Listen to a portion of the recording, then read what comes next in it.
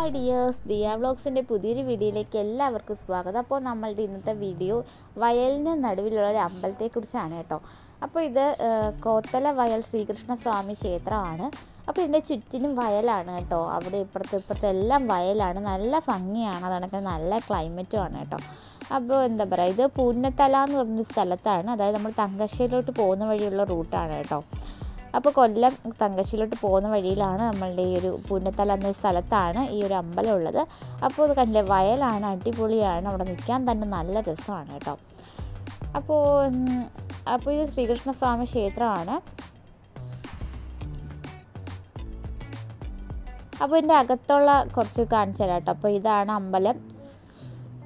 അപ്പോൾ പക്ഷേ കോവിഡൊക്കെ ആയതുകൊണ്ട് ഇപ്പോൾ ഇവിടെ അന്ന് ആൾക്കാരൊന്നും ഇല്ല കേട്ടോ. അപ്പോൾ അമ്പലത്തിന്റെ അകത്തുള്ളൊരു വ്യൂ ഇപ്പോൾ ഇതാണ്.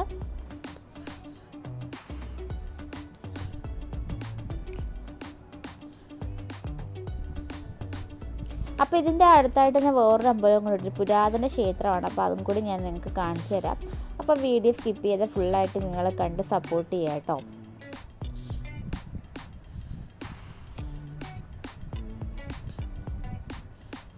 അപ്പോൾ ഈ അമ്പലത്തിൽ രാത്രി നോക്കിയപ്പോഴത്തേക്ക് ഒരു സന്ധ്യയൊക്കെ ആയപ്പോൾ ലൈറ്റൊക്കെ ഇട്ട് കേട്ടോ ഭയങ്കര സെറ്റപ്പാണ് കേട്ടോ അതായത് ലൈറ്റൊക്കെ ഇട്ടപ്പോൾ നല്ല ഭംഗിയായിരുന്നു അമ്പലം കാണാനായിട്ട് കണ്ടില്ലേ? നല്ല വയലിന്റെ നടുവിലൊരു അമ്പലം നിൽക്കുക കേട്ടോ നല്ല ഭംഗിയാണ് കാണാൻ അപ്പോൾ രാത്രി ആയപ്പോഴത്തേക്കും അവിടെ അമ്പലം മൊത്തം ഇങ്ങനെ ലൈറ്റൊക്കെ ഇട്ട് നല്ല രസമുണ്ടായിരുന്നു.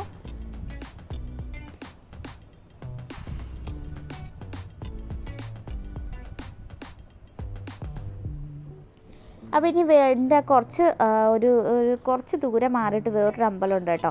അപ്പോൾ ഇത് ആരും ഇങ്ങനെ അറിയാത്തൊരു അമ്പലമാണ് ഇതത് തോട്ടേക്കാട് ശ്രീകൃഷ്ണ സ്വാമി ക്ഷേത്രം എന്ന് പറയാം കേട്ടോ. അതായത് ഇതൊരു പുരാതന ക്ഷേത്രമാണ്. അങ്ങനെ അധികം ആൾക്കാരൊന്നും വരുത്തിയിരുന്നില്ല കേട്ടോ.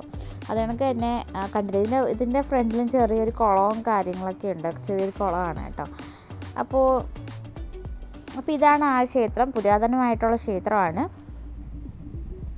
അപ്പോൾ ഇന്നത്തെ ചെറിയൊരു വീഡിയോ ഇതാണ് കേട്ടോ. അപ്പോൾ എല്ലാവർക്കും ഇഷ്ടമായെങ്കിൽ ചാനൽ സബ്സ്ക്രൈബ് ചെയ്യാൻ മറക്കരുത്. ബെല്ലൈക്കൺ എനേബിൾ ചെയ്ത് വെക്കുക.